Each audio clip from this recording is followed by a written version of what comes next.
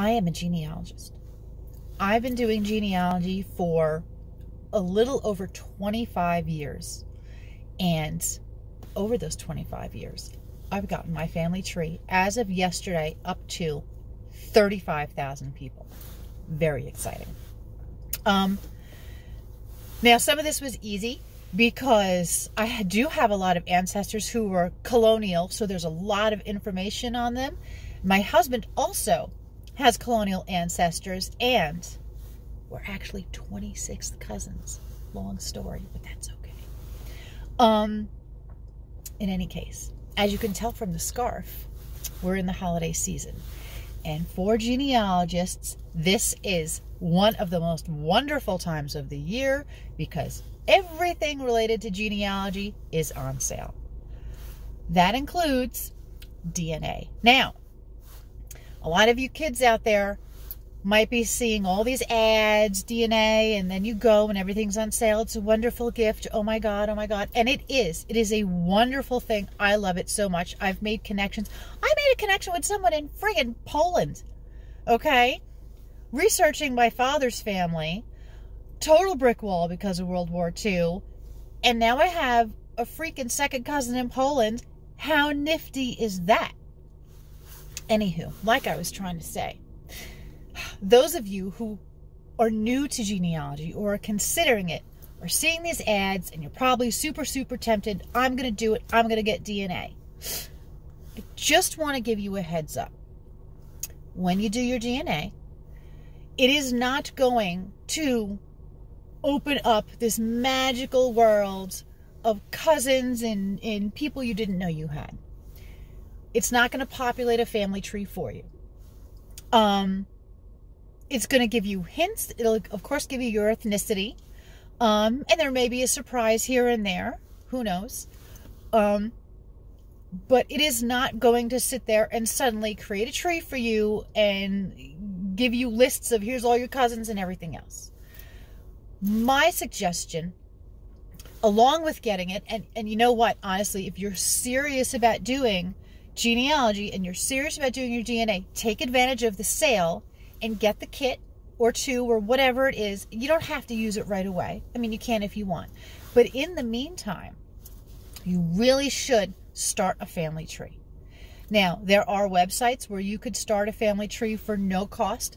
FamilySearch.org, I will leave the link below, has is free. All their resources are free.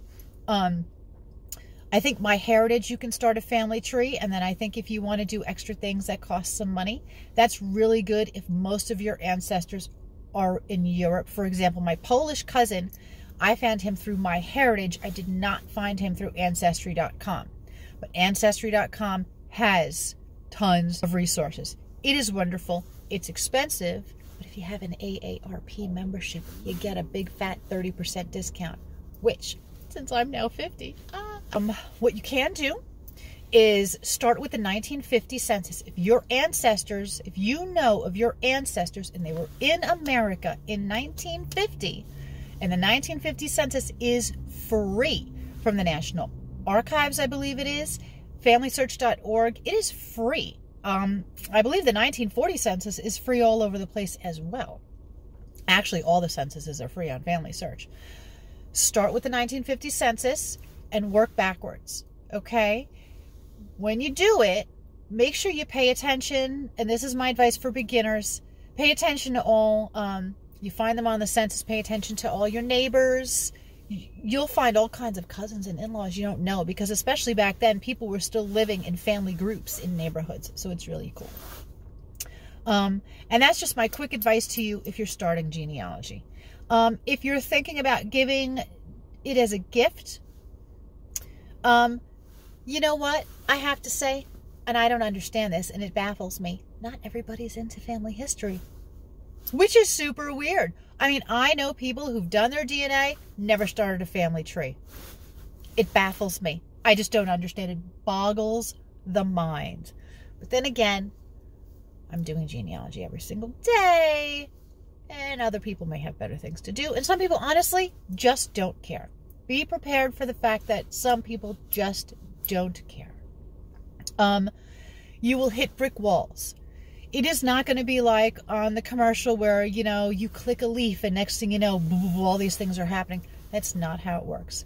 And if you think that the a name in your family, you know, like, you know, Imogene, you know, Gladiola Rosenbaum is a weird name, I guarantee you it's not.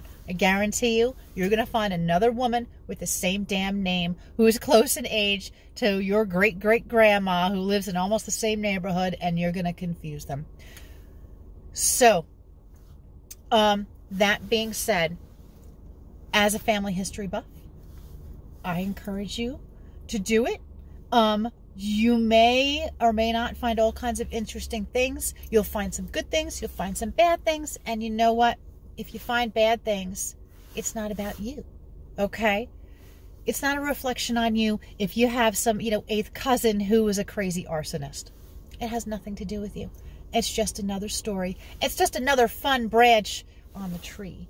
Okay? Um and that's what I have to say about that. So, I'm not being sponsored by any of these people. Um I'm not getting any money off of any of this. It's just that I really, really love genealogy. And um, as I said, I have colonial ancestry, and so does my husband. Um, so if you have any colonial ancestry, drop comments, and heck, maybe we're cousins. How cool would that be?